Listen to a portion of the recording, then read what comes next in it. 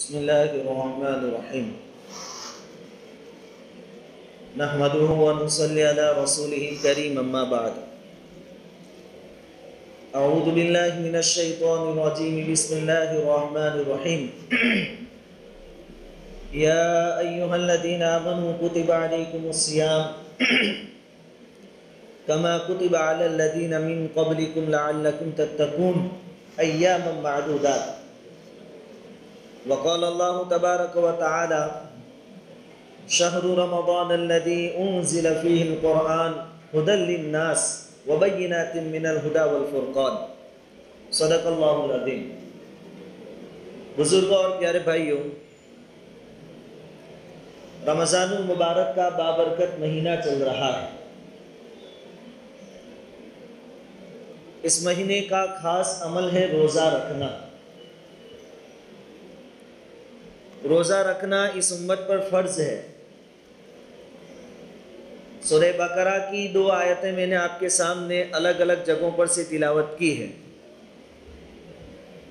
पहली जो आयत मैंने आपके सामने तिलावत की, या युहल्लदीन आमनु। ईमान वालों को रोज़े का हुक्म देना था। तो अल्लाह रब्बुल इज़्ज़त ने बहुत ही प्यारा खिताब फरमाया। या अyyuhallazina आमनु। ए ईमान वालों, ये इस उम्मत की खुशकिस्मती है कि अल्लाह रब्बुल इज़्ज़त ने हमें डायरेक्ट मुखातब किया है। ए ईमान वालों कहकर, अगली उम्मतों को ये शर्फ नहीं मिला है। इस उम्मत को डायरेक्ट अल्लाह रब्बुल इज़्ज़त ने खिताब किया है। और ये बहुत ही प्यारा किताब है, ए ईमान वालों। हज़रत अब्दुल्ला इब्न मसूद रदी अल्लाह तआला फरमाते हैं कि जब भी कुरान की किसी आयत में, या लदीन आमनू से खिताब किया जाता तो मैं बहुत मुतवजह हो जाता। और मुझे ये एहसास होता कि अल्लाह ताला डायरेक्ट मुझसे कुछ कह रहे हैं। और जब अल्लाह डायरेक्ट कह रहा है तो आदमी को कितने ध्यान से सुनना चाहिए। अल्लाह खुद बात कर रहा है, डायरेक्ट बात हो रही है। या लदीन आमन, ए ईमान इसकी मिसाल ऐसी है, जैसे कि बाप कभी अपने बेटे का नाम लेकर कोई काम सुपुर्द करता है? मोहम्मद ये काम कर दे। बेटे का नाम इस्माइल है तो कि इस्माइल ये काम कर दे। लेकिन इससे बेटे के अंदर उसके बाप होने का इतना जज्बा पैदा नहीं होता। लेकिन वही बाप जब अपने बेटे से क्या कहता है? ए मेरे बेटे। प्यार के साथ बुलाता है, ए मेरे बेटे। तो वो बेटा फिर फटाफट बाप का काम कर देता है। क्योंकि बहुत लाड़ बड़ा कलाम ए मेरे बेटे। इसी तरह अल्लाह रब्बुल इज़्ज़त हमसे कह रहे ए ईमान वालों, आगे एक हुक्म आपको दिया जा रहा है, उसको सुनो। कुतिबा अलैकुम सियाम, तुम्हारे ऊपर रोज़े फ़र्ज़ करार दिए गए। अब ये हुक्म आया अरब में, नबी करीम सल्लल्लाहु अलैहि वसल्लम पर। उस वक्त इस्लाम अरब में था और अरब रेगिस्तानी इलाका, सहरा, रेगिस्तान, गर्मी वाला इलाका वहाँ के लोगों के लिए रोज़ा रखना कोई मामूली बात नहीं थी। बहुत मुश्किल काम था। कुतिबा अलैकुमुस्सियाम तो अब जाहिरी बात है कि बहुत मुश्किल काम था तो उनको ज़रा महसूस भी होगा कि ये तो बहुत सख्त हुक्म है अल्लाह ताला का। हम कैसे पूरा कर सकेंगे?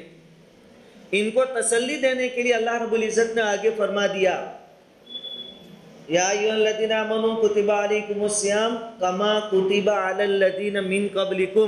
के रोज़े का हुक्म सिर्फ़ तुमको नहीं दे रहा हूँ तुमसे पहले जो थे उन्होंने भी रोज़े रखे हैं और जब आदमी जानता है कि अगलों ने भी ये काम किया है तो फिर हम भी कर सकते हैं एक मेंटालिटी आदमी की बन जाती है कि फुला ने किया तो मैं क्यों नहीं कर सकता अब अरब को तरकीब दी कि अगले भी रखते थे, कोई नवी चीज़ नहीं है। तुम घबराना मत। परेशान मत होना कि कैसे होगा। अगलों ने रखा, वैसे तुम भी रख सकोगे। इसे मालूम हुआ कि अगली उम्मतों पर भी रोज़े थे।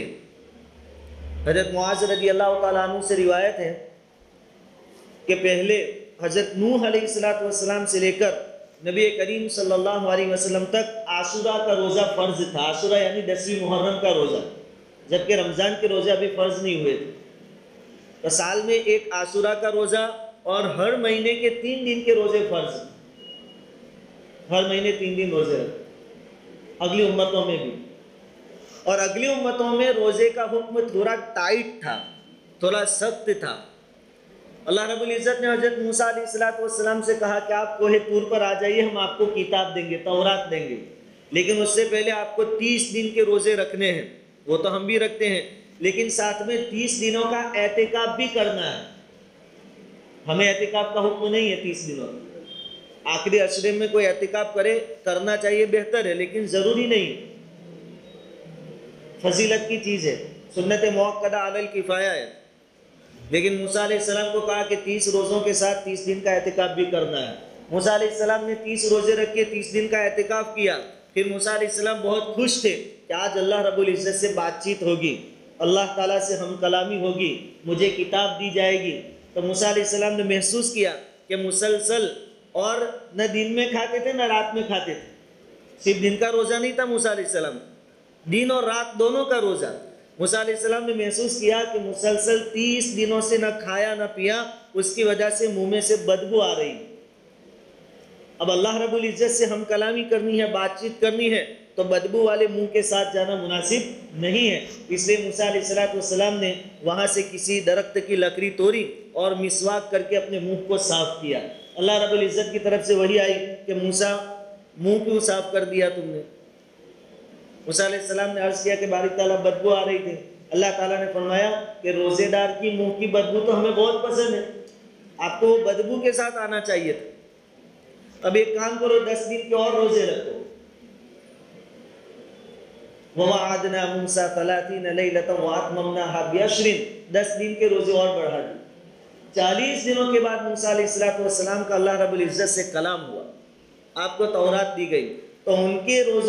एहतिकाब भी ज़रूरी था और न दिन में खाना था न रात में खाना हमारे रोज़ों में ऐसी बात नहीं हाँ इस उम्मत के ऊपर जो रोज़े फ़र्ज़ हुए उसमें भी शुरू में थोड़ी पाबंदियाँ थी थोड़ी सख्तियाँ थी पहले रोज़ा किस तरह रखा जाता था कि आपने इफ्तारी की शाम को मगरिब के वक्त? उसके बाद आप जब तक जागते हैं, सोए नहीं हैं, वहाँ तक खा पी सकते हैं। जैसे ही आप सो गए, अब सुबह में शहरी का कोई इंतज़ाम नहीं। आप सो गए, वहाँ से आपका रोज़ा चालू। दूसरे दिन मगरिब के वक्त आपको रोज़ा खोलना है। इतना लंबा रोज़ा शुरू में था। रोज़े के हकाम भी स्टेप बाय स्टेप नाजिल हुए। मगरिब के बाद आप जितना जब तक जागते हैं, वहाँ तक खाते पीते रहो, कोई प्रॉब्लम नहीं। लेकिन जैसे ही आप सो गए, अब आप खा पी नहीं सकते, अपनी बीवियों से मुलाकात नहीं कर सकते। हम बिस्तरी नहीं कर सकते। ये हुक्म था एक सहाबी रदी अल्लाह तु जिनका नाम हज़रत कैस रदी अल्लाह तु था। वो खेत में काम करके आए थे, थके हारे थे। शाम को आए, मगरिब के वक्त अपनी बीवी से पूछा कि इफ्तारी के वास्ते कोई चीज़ है? बीवी ने कहा कि कोई चीज़ नहीं है। मैं अड़ोस पड़ोस में ज़रा तहकीक करके आती हूँ। कहीं से कुछ मिल जाएगा तो मैं लेकर आप, आपकी खिदमत में हाजिर कर दूँगी। बीवी तलाश करने के वास्ते गई। जब वो आती कुछ लेकर, उससे पहले चूँकि वो पूरा दिन खेत में काम करके आए थे, थके हुए थे तो वो सो गए। हज़रत कैस रज़ी अल्लाह तला बीवी ने उनको जगाया कि मैं आपके लिए खाना लाई हूँ, इंतज़ाम हो गया है। उन्होंने नींद से बेदार होकर कहा कि अब मैं तो सो गया, और सो गया तो रोज़ा शुरू हो गया। अब मैं खा नहीं सकता। तो अगले दिन शाम से भूखे थे, मगरिब से। आज रात हो गई, अब आगे एक और दिन नहीं खा सकते। लगातार दो दिन और दो रात भूख की वजह से बेहोश होकर गिर पड़े। अल्लाह रब्बुल इज़्ज़त ने फिर उस हुक्म में तकफीफ कर दी। इस हुक्म को थोड़ा हल्का कर दिया, आसान कर दिया। फिर अल्लाह रब्बुल इज़्ज़त ने शहरी का हुक्म दिया कि सुबह सादिक तक आप खा पी सकते हैं, उसके बाद आपका रोज़ा शुरू होगा। इसमें आसानी आ गई। दूसरा हुक्म था कि आप इफ्तारी के बाद, मगरिब से बाद से सोने तक अपनी बीवियों से मुलाकात करना चाहे कर सकते हम बिस्तरी कर सकते थे। लेकिन आप सो गए, उसके बाद आपका रोज़ा शुरू हो गया, अब आप हम बिस्तरी नहीं कर सकते। अब होता ये था कि कभी कभी साहबा किराम रात को हुजूर की मजलिस में बैठते और घर जाने में देर हो जाती। नौजवान साहबा किराम थे, घर जाकर उनको अपनी बीवियों से तकाजा पूरा करने की ख्वाहिश होती। कि अपनी बीवियों से हम बिस्तरी करें, लेकिन बीवियाँ सोई होती। उन्होंने अपनी बीवियों को उठाया, बीवियों ने मना किया कि हम तो सो गई थी हमारा रोजा शुरू हो गया, अब हम ये काम नहीं कर सकते। लेकिन नौजवान थे, और अभी शुरुआत का दौर था तो वो अपने आप पर कंट्रोल नहीं कर सके, और अपनी बीवियों से हम बिस्तरी कर ली। अब ये हुक्म टूटा, उनको बहुत अफसोस हुआ, बहुत नादिम हुए, बहुत शर्माए अपने फैल पर। अल्लाह रब्बुल इज़्ज़त ने इसमें भी आसानी कर दी। कुरान में हुक्म नाजिल फरमाया निसाइकुम, कि ठीक है, रमज़ान की रातों में सुबह सादिक तक तुम अपनी बीवियों से हम बिस्तरी कर सकते हो। ये रात वाली पाबंदी अल्लाह रब्बुल इज़्ज़त ने ख़त्म कर आसान। तो रोज़े का हुक्म स्टेप बाय स्टेप नाजिल हुआ और पाबंदियाँ कम कर दी गई, खत्म कर दी गई और बिल्कुल आसान रोज़ा हमारे सामने पेश किया गया। ऐसा ही जैसे कि शराब के बारे में पहले शराब चूँकि हर एक शराब से मोहब्बत करता था, शराब का आदि था। तो स्टेप बाय स्टेप अहकाम अल्लाह रब्बुल इज़्ज़त ने नाजिल फरमाए। पहले साहबा किराम से फरमाया कि शराब अच्छी चीज़ नहीं है, उसके पास मत जाओ, शराब मत पियो।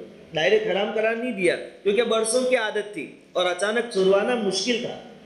पहले कहा, शराब के पास मत जाना, अच्छी चीज़ नहीं। फिर दूसरा हुक्म नाजिल हुआ कि ठीक है, शराब नहीं छूटती तो कम से कम नमाज़ के वक्त शराब मत पीना। शराब पीकर नमाज़ के लिए खड़े मत होना। और एक वाक्य भी रिवायतों में मिलता है कि एक सहाबी रज़ी अल्लाह तु नशे की हालत में थे, उस वक्त शराब हराम नहीं हुई थी। मगरिब की नमाज़ पढ़ाने के लिए खड़े हो गए। बोलिया काफिरून, की सूरत पढ़ रहे थे तो जहाँ भी ला आबुदू है, वहाँ ला छोड़ दिया और आबुदू आबुदू पढ़े, तर्जमा पूरा बदल गया। बोलिया काफिरून, आप कह दीजिए, काफिरो, ला आबुदू मा ताबुदून, जिन माबूदों को तुम पूछते हो, मैं नहीं पूछता, मैं उनकी इबादत नहीं करता, लेकिन ला छोड़ दिया, आबुदू मा ताबुदून। इसका तर्जमा हो गया कि जिन भूतों को तुम पूछते हो, मैं भी उनको पूछता हूँ। तर्जमा चेंज हो गया। तो अल्लाह रब्बुल इज़्ज़त ने फिर पाबंदी लगाई कि कम से कम नमाज़ के वक्त तो तुम नशे में नहीं आने चाहिए, होश में रहना चाहिए। नमाज़ से पहले शराब पी के मत आया करो। उसके बाद थोड़े दूर हुए शराब से, फिर अल्लाह रब्बुल इज़्ज़त ने पूरा रास्ता बंद कर दिया कि अब शराब तुम पर हराम। इधर भी जब आदत पड़ गई सहाबा किराम को भूख और प्यास बर्दाश्त करने की तो पहले क्या था रोज़े में? कि फमन कान मिनकुम मरीदन वाला सफरिन फाइदतुम मिन अय्यामिन उखर व अलल लदीन युतीकुनहु फिदियतुन तामु मिस्कीन। कि जो लोग मालदार हैं, रमज़ान के महीने में तंदुरुस्त होने के बावजूद अगर रोजा न रखना चाहे तो कोई प्रॉब्लम नहीं। आप फिदिया दे दो, मिस्किन को खाना खिला दो और रोजा छोड़ दो। शुरू में इतनी इजाज़त थी। पहला स्टेप ये था। फिर अल्लाह रब्बुल इज़्ज़त ने तरकीब दी कि रख लोगे रोज़ा तो अच्छा रहेगा। और फिर अल्लाह रब्बुल इज़्ज़त ने पाबंदी लगा दी, फमन शहीद अमीन को मुशहर फलियसुम। अब जिसके पास भी रमज़ान का महीना आवे, उसको कंपलसरी रोज़ा रखना पड़ेगा। तो रोज़ा भी स्टेप बाय स्टेप फ़र्ज़ हुआ। हमारे लिए बिल्कुल आसान रोज़ा। सुबह सादिक से लेकर मगरिब तक, सूरज डूबने तक। अब रोज़ा नाम है खाने, पीने और बीवी से अपनी जायज़ ख्वाहिशात पूरी करने से रुकने का। लेकिन यही चीज़ें नहीं हैं। रोज़ा रखने के साथ साथ ज़ुबान की हिफाजत, गिबत चुगली, फितना और फसाद, झूठ, इन चीज़ों से अपने आप को बचाना बहुत ज़रूरी है। मैंने आगे एक रिवायत बयान की थी कि हुजूर ने फरमाया कि कोई आदमी झूठ बोलना नहीं छोड़ता और झूठ पर अमल करना नहीं छोड़ता तो वो भले पूरा दिन भूखा और प्यासा रहे, अल्लाह रब्बुल इज़्ज़त को उसके भूखे और प्यासे रहने की कोई परवाह नहीं। तो अपनी ज़ुबानों पर कंट्रोल। बदगुमानी, फुलाने जो काम किया हो वाकई की कोई तहकीक नहीं, न किसी से पूछते हैं किसी के बारे में कोई बात दिल में है तो उससे रूबरू मुलाकात कर ले, पूछ ले। बदगुमानी में अल्फाज ना निकाले, नहीं तो आपका रोज़ा खराब हो जाएगा। हुजूर ने फरमाया, रोज़ा ढाल है, जहन्नम के अजाब से बचने के लिए दाल है, लेकिन जब आप दाल को सुराख वाली कर दोगे गिबत के ज़रिए, झूठ के ज़रिए, चुगली के ज़रिए, फितने फसाद के ज़रिए, फिर ये दाल आपको दोजक के अजाब से बचा नहीं सकेगी। दाल जब तक सही सलामत है, तलवार के हमले को रोक सकती है, लेकिन दाल में सुराख हो जाएँगे, फिर आपकी हिफाजत नहीं कर पाएगी। तो अपने आप को गिबत चुगली और बातिनी जाहिरी गुनाहों से बचाओ। अब होता क्या है कि फ्री होते हैं, कामकाज हम रमज़ान में कम कर देते हैं तो फिर मिलजुल कर बैठते हैं, टोलियाँ बन के बैठते हैं। जब बैठते हैं तो फिर बातें होती है, और बातें होती हैं तो ये बातें हमको गिबत तक भी ले जाती है, झूठ तक भी ले जाती है, किसी का मज़ाक और ठट्ठा उड़ाने तक भी ले जाती है, गाली गलोच तक भी ले जाती है। किसी की बुराई तक भी ले जाती है। इन बैठकों के ज़रिए हमारे रोज़े खराब हो रहे हैं। इसलिए मौलाना अशरफ अली थानी रहमत अली फरमाते हैं कि रमज़ान में तीन चार काम पाबंदी से करो।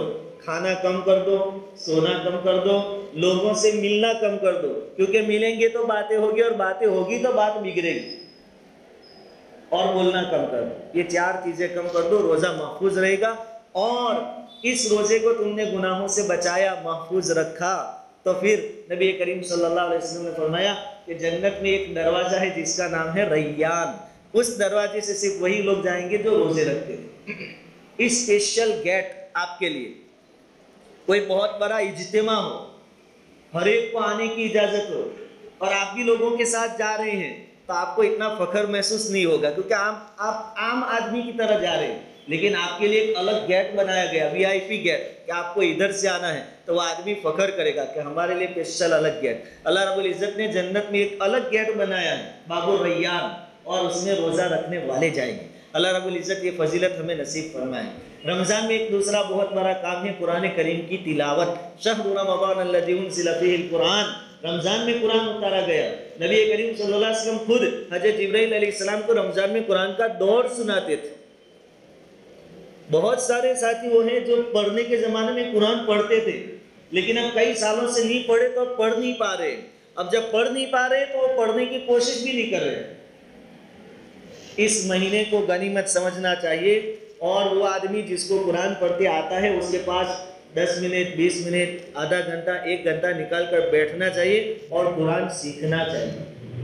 रमज़ान के महीने को, कुरान को रमज़ान के महीने के साथ एक खास नस्बत और मुनासबत हासिल। और कुरान दुनिया की सबसे बड़ी दौलत सबसे बड़ी दौलत। दुनिया की मालो दौलत के मुकाबले में कुरान सबसे बढ़कर है। हज़रत इमाम शाफी रहमत के पास एक आदमी आया और कहा कि हज़रत, मैं परेशान हो गया। हज़रत ने पूछा, क्या हुआ? कहा कि, जब मेरी शादी हुई तो कई सालों तक पहले तो औलाद नहीं थी। मैंने अल्लाह से बहुत दुआ की कि, अल्लाह औलाद अता फरमा। बहुत दुआओं के बाद अल्लाह ताला ने एक लड़की अता फरमाई। जिस दिन लड़की पैदा हुई, मैं बहुत खुश हो गया, क्योंकि कई सालों के बाद औलाद हुई। बहुत खुश हो गया। और खुशी में मैंने ये अल्फाज कहे थे कि जिस दिन मेरी ये लड़की बड़ी हो जाएगी और मैं उसकी शादी करवाऊँगा तो पूरी दुनिया की मालो दौलत उसको जहेज में दूँगा। पूरी दुनिया की मालो दौलत। पूरी दुनिया की जायदाद इसको जहेज में दूँगा। अब लड़की बड़ी हो गई है, शादी का वक्त आ गया और मैं गरीब आदमी और मालदार भी हो तो पूरी दुनिया की जायदाद थोड़ी दे सकता है। इतनी जायदाद लावे कहाँ से? अब मैं क्या करूँ? अपनी बात को पूरा कैसे करो? इमाम शाफी रहमत ने फरमाया कि एक काम करो, तुम लड़की को कुरान सिखा दो। कुरान पढ़ते सिखा दो। और जिस वक्त आप उसको रुखसत करें, घर से, शादी के बाद, उस वक्त उसको एक कुरान भी दे दो। ये कुरान सिखाना और कुरान देना पूरी दुनिया की जायदाद से बढ़कर कुरान, इसलिए कुरान पढ़ें। और नहीं पढ़ पाते, अटकते हैं, मुश्किल पेश आती है। उनके लिए तो डबल सवाब एक तो पढ़ते हैं, उसका सवाब और एक ये मुश्किल बर्दाश्त करते हैं, मेहनत करते रहते हैं, उसका सवाब और हम ये भूख और प्यास क्यों बर्दाश्त करते हैं अल्लाह के करीब होने के लिए? कि अल्लाह का कुर्ब हमें नसीब हो। कुरान सबसे बेस्ट ज़रिया है अल्लाह के करीब होने हज़रत इमाम अहमद इब्न हम्बर रहमत ने खौफ में अल्लाह रब्बुल इज़्ज़त का दीदार किया, ज़ियारत हुई। हज़रत इमाम अहमद इब्न हम्बर रहमत ने अल्लाह ताला से पूछा कि बारी ताला, आपका कुर्ब आपकी नज़दीकी कैसे हासिल हो सकती है? अल्लाह रब्बुल इज़्ज़त ने फरमाया कि कुरान की तिलावत के ज़रिए। हज़रत इमाम अहमद रहमत ने पूछ लिया खौफ में कि कुरान समझ कर पढ़े तो कि बगैर समझे पढ़े तो? अल्लाह ताला ने फरमाया कि बगैर समझे पढ़ेंगे तो अभी मेरा कुर्ब और नज़दीकी मिल जाएगी इससे बढ़कर हमें क्या चाहिए? एक एक हर पर अल्लाह रब्बुल इज़्ज़त दस दस ने किया तो रमज़ान का एक दूसरा बहुत बड़ा अमल कुरान की तिलावत। कुरान खुद भी पढ़े और तरावी में कुरान को सुने। अभी तो ये छठा रोजा है, लेकिन मस्जिद से नमाजी गायब होने शुरू हो गए। पहले दो दिन जो थे नमाजी, वो अब गायब हो रहे धीरे धीरे फिर वही जो बूढ़े लोग होते हैं सब में दो, ढाई सब उसी पर आ जाएगा ऐसा ना करें, रमज़ान को गरीब समझे। और तीसरी बड़ी चीज़, रमज़ान में दुआ। चलते फिरते अल्लाह रब्बुल इज़्ज़त से मांगे। आप ज़रूरी नहीं कि मस्जिद ही जावे, वज़ू करके तिबला रुक बैठे, फिर ही मांगे। ये भी करें, लेकिन चलते फिरते भी अल्लाह रब्बुल इज़्ज़त से मांगे। किसी काम के वास्ते घर से निकले, अल्लाह से बात करते करते जावे, ये काम मेरे बस का नहीं है, तू आसान करेगा तो हो जाएगा, और तू नहीं चाहेगा तो नहीं होगा। फिर देखिए, अल्लाह रब्बुल इज़्ज़त कामों को कैसे आसान करते हैं। जब दुनिया के किसी बादशाह के पास आदमी माँगता है तो बादशाह कितना दे देते हैं? जब खुश हो जावे तो तो बहुत देते हैं। हारून रशीद के बारे में लिखा है कि हारून रशीद जा रहा था। उन्होंने रास्ते में एक बूढ़े आदमी को देखा कि वो क्या कर रहा है? पौधा लगा रहा है ज़मीन में। दरख्त लगा रहा है। हारून रशीद ने कहा कि बड़े मियाँ, ये पौधा तुम लगा तो रहे हो, लेकिन तुम्हारी उम्र तो इतनी हो चुकी है। पता नहीं अब ये बड़ा होगा और तुम देख पाओगे कि नहीं। फिर ये मेहनत क्यों कर रहे हो? बूढ़े मियाँ ने जवाब दिया कि हमारे बड़ों ने दरख्त लगाए थे, उनके फल हमने खाए। अब मैं लगा रहा हूँ तो हमारी आने वाली नस्ल खाएगी। मुझे भले देखना नसीब नहीं होगा, लेकिन हमारी आने वाली नस्ल को तो काम लगेगा। ये जवाब हारून रशीद को बहुत अच्छा लगा। उसने अपने वज़ीर से कहा कि एक हज़ार अशरफिया इनको दे दो, सोने के सिक्के। दिए। बूढ़ा फिर बोलने लगा कि लोगों को तो उनके लगाए हुए दरख्त तो खुद खाना नसीब नहीं होते, बल्कि उनके आने वाली नस्लें खाती हैं। मुझे तो मेरे लगाए हुए दरख्त का फल अभी से मिल गया, एक हज़ार अशरफिया अभी मिल गए हारून रशीद को ये बात और अच्छी लगी। वज़ीर से कहा कि एक हज़ार अशरफिया और दे दो। बूढ़ा फिर बोला कि लोगों के दरख्त तो साल में एक मरतबा फल देते हैं। मेरे दरख्त ने तो अभी इसी पोजीशन में है, छोटे, लेकिन दो मरतबा मुझे इनाम दिलवा दिया, दो हज़ार अशरफिया हारून रशीद को और अच्छा लगा, कहा कि एक हज़ार अशरफिया और दे दो। तीन हज़ार हो गए। फिर अपने वज़ीर से कहा कि यहाँ से चलो, नहीं तो ये बूढ़ा जितने अशरफिया हैं सब ले जाएगा जब दुनिया के बादशाह इतना दे सकते हैं तो बादशाहों का बादशाह मांगने पर क्या नहीं देगा? इसलिए रमज़ान का महीना मांगने का है। क्रिकेट के पीछे, वॉलीबॉल के पीछे, आईपीएल के पीछे इस महीने को बर्बाद न करें। अल्लाह रब्बुल इज़्ज़त रमज़ान को वसूल करने की तौफीक अता फरमा